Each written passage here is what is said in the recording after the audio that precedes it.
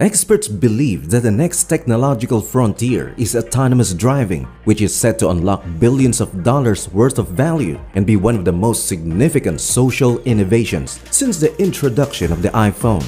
Because of this, Microsoft is making an investment in Cruise, Google has their own self-driving business, and even Apple is attempting to get in on the action.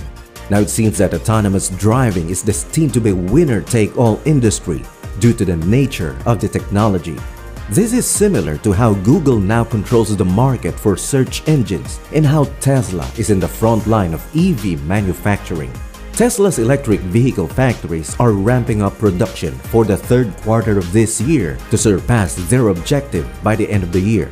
Now because of this, Tesla's factory aims to generate $300 million in income each year and Tesla CEO Elon Musk said that Giga Texas revenue can reach up to $100 million. Now how will Giga Texas make so much money in one day? To know the answers to this question, make sure to join me in this video as we talk about Tesla's massive plans for Giga Texas. Hey guys, welcome back! And before we get to that, don't forget to hit the like and subscribe buttons and let's begin! It would appear that Tesla's Gigafactory in Texas is making good progress toward its goal of ramping up the manufacturing of the Model Y. Recent reports say that the Tesla EV production plant in Texas has already attained a production capacity of 5,000 cars per week now this is an incredible milestone, especially that the factory was just opened just this year. So a total of 833 Model Ys are produced daily in Giga, Texas. And the price of the basic range all-wheel drive version of the Model Y that is manufactured in Texas is $61,990. Taking into account the findings of several economic studies, this places the daily revenue of Giga Texas in the neighborhood of $51.6 million. To put this in perspective, the Giga Texas factory's income is still more than that of the Giga Berlin factory. And Tesla disclosed that the Berlin Gigafactory produced about 1,000 vehicles per week at the beginning of June. This is equivalent to approximately 167 automobiles being manufactured every day. Now, the Model Y manufactured in Berlin retails for roughly $75,369 and daily income comes at approximately $12.6 million. Because of this, the amount of money brought in by Giga Texas is four times as much as that of Giga Berlin and since the beginning of the year, Tesla has had the goal of achieving a weekly production rate of 100 automobiles at its Giga Texas facility. This implies that the facility is capable of producing around 1,600 automobiles every single day. Therefore, the daily revenue at Giga Texas around that period may have been close to $100 million. But that is only an estimate of the overall revenue. Because of this, the plant in Giga, Texas now needs to spend more money on other things, such as the salaries of the employees and many additional operation costs. And the money generated by the plant will likewise see a degree of decrease.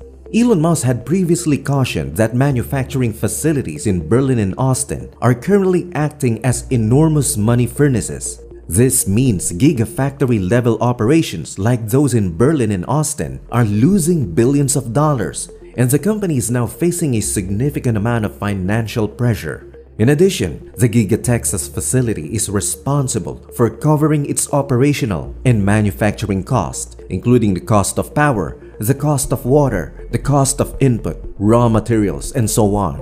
On the other hand, Elon Musk, CEO of Tesla, has a solution to the financial challenges at Giga Texas that involves borrowing money, a strategy that very few people consider.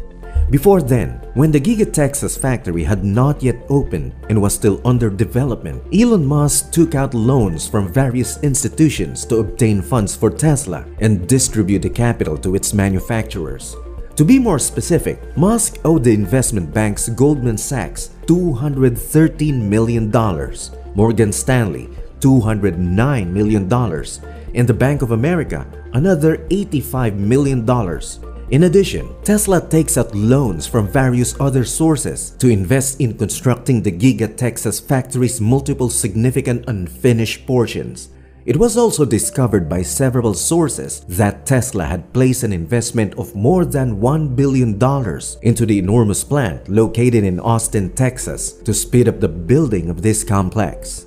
There is also the possibility that some of that sum comes from a loan provided by Texas to Tesla according to documents that Tesla has reportedly filed with the Texas Department of Licensing and Regulation. The papers provided an overview of Tesla's expenditures on several Giga Texas projects.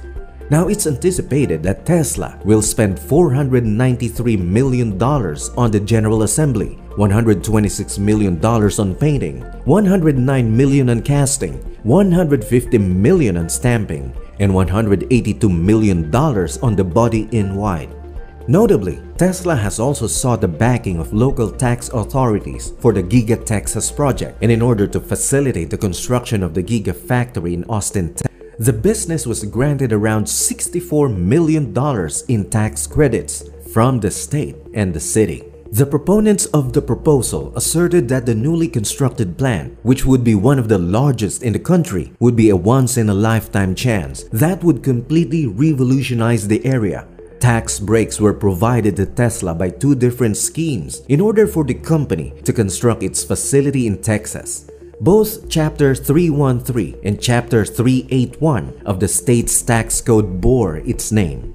Now, through a 10-year limitation on their taxable property value, the tax limitation scheme known as Chapter 313 enables local school districts to place a ceiling on the total amount of property tax that companies are required to pay in exchange for an agreement to restrict Tesla's property value to $80 million. Del Valle Independent School District will provide the firm with an expected savings of $50.4 million over 15 years. In contrast to this technical marvel of die casting technology, the Giga Press, the Tesla bot is but a blip on the radar at Giga Texas.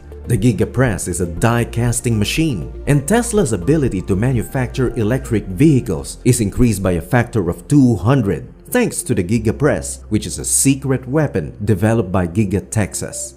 Tesla never ceases to astonish us with its accomplishments and the mystery surrounding how it does them. At the end of the day, it is always about innovation and business strategy, as well as, of course, its objective to make the world a better place.